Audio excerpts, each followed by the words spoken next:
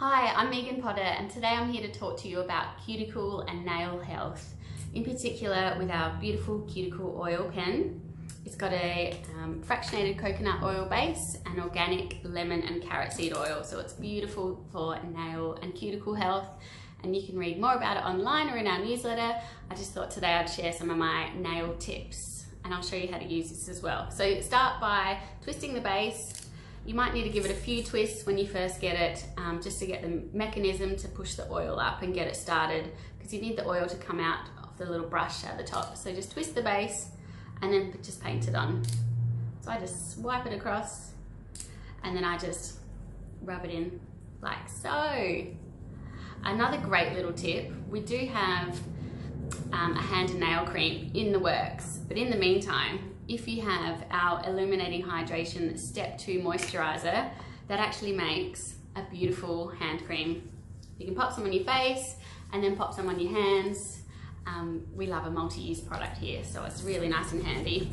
It's sort of part of my bedtime routine now at the moment. I like to pop my cuticle oil on, pop some hand cream on, and I like to keep a cuticle oil on my desk at work so I can pop it on after I've washed my hands, and pop it on before bed.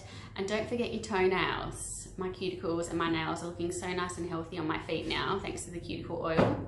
I also like to keep my cuticles pushed back, which makes um, your toes and your fingers look nice and neat. So I do that after the bath or the shower, when the skin's nice and soft, and just push them back with a little cuticle stick to make them look nice and neat you can do that and you can use our cuticle oil if you've got acrylic nails or gel nails or SNS, whatever's the in thing at the moment.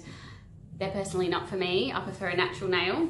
That's just far too many chemicals for me, but if you like them, that's perfectly okay to keep using the cuticle oil. I've had them in the past. I am actually, and so is my sister, we're qualified nail technicians. Um, so I've been there, done that. I just love a natural nail and I love a nice short nail. I find them nice and practical, especially wearing contact lenses. Um, and I just think they look nice personally. Um, another little tip is making sure that your hands are protected from the sun. So mineral foundation and our kabuki brush, just buff some onto your hand. Fantastic sun protection, especially if you do a lot of driving. They're my hot tips. Bye.